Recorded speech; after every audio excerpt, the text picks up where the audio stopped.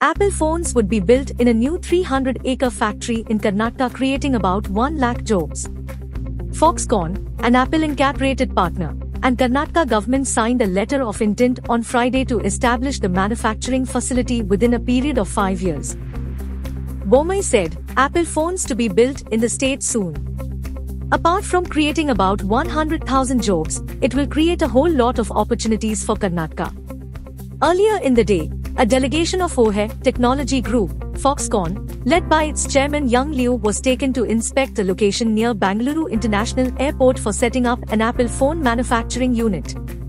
Welcoming the Foxconn's move, India Electronics and Semiconductor Association said this demonstrates that the policies and endeavor of the government of India is focused toward electronics production in the country. The aim is to accrue an accelerated pace in this sector to meet the growing domestic and global consumption, it said. Generating 100,000 jobs being created also clearly demonstrates the spirit of Atma Nirbhar Bharat and the wealth and impact it will create in society, it added.